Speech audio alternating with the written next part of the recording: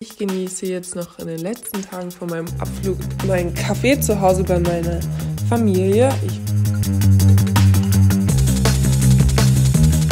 der Countdown läuft bis zu meinem Abflug nach Shanghai. Das ist meine zweite Auslandsstation. Letztes Jahr war ich zum ersten Mal im Ausland, da war ich in Florenz in Italien. Das war schon eine super coole Erfahrung.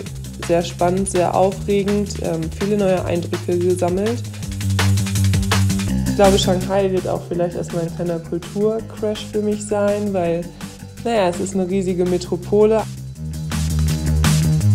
Es wird eine atemberaubende Zeit. Also ich bin mir ganz sicher, ich werde daraus sehr viel mitnehmen und ich bin ganz gespannt, wie ich dort meinen Alltag meistern werde, wie ich dort als große Europäerin überhaupt auffallen werde.